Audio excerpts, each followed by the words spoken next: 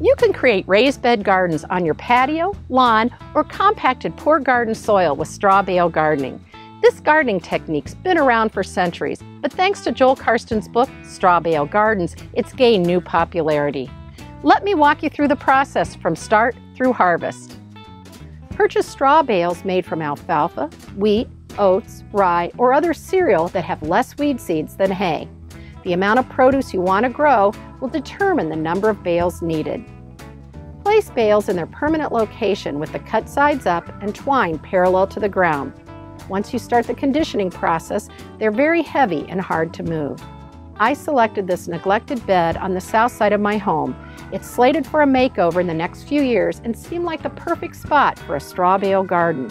Lots of sun, near a water source, and next to the house where I can easily tend and harvest. I use cardboard and straw from old bales for mulch to discourage weeds in the surrounding area. Once the bales are in place, we're ready to start the conditioning process. This is done to start the inside of the straw bales composting so they'll support plant growth.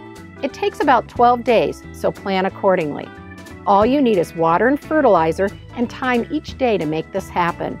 There are many variations on conditioning, but we'll follow Joel's schedule. Day one, we'll spread fertilizer over the top of the bale. I use three cups of Milorganite, an organic nitrogen fertilizer. The organic nitrogen feeds the microorganisms that decompose the straw into a nutrient-rich growing medium.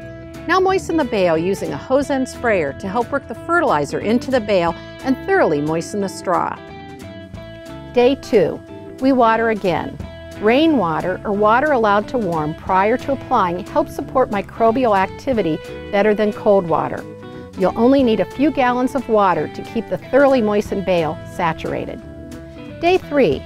Add another 3 cups of low nitrogen organic fertilizer and moisten the bale. Day 4. Water only. Day 5. Add 3 cups of fertilizer to each bale and water in. By day 6, your bales may have the sweet aroma of compost and feel warm to the touch. The smell will soon dissipate, but the composting will continue. Day 7, 8, and 9, apply half the amount of fertilizer, 1.5 cups of Milorganite, and water each day. Day 10, add a complete fertilizer like 10 10 10 to provide needed phosphorus and potassium and water. Day 12, you're ready to plant. The inside of the bale should be the temperature of warm bath water or cooler. If it's hotter than this, wait for the bale to cool a bit before planting. Use a trowel to pry open a hole in the bale. Place the transplant in the hole and cover the roots with potting mix. Create a planting bed for seeds by covering the bale with a 1 to 2 inch thick layer of planting mix. Follow the planting directions on the back of the seed packet. Regular watering is critical for success with this method. Soaker hoses or drip irrigation make this an easier task. You can also use gallon milk jugs with holes in the bottom or inverted 2 liter soda bottles placed near the base of each plant to provide water where it's needed. Water seed beds often enough to keep the planting mix moist. Reduce frequency as the seedlings become established.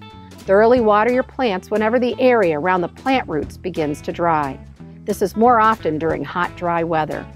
Give your straw bale garden a nutrient boost about once a month or as needed throughout the growing season. With the help of Milorganite, you're on your way to growing a productive straw bale garden much like these. So consider giving it a try.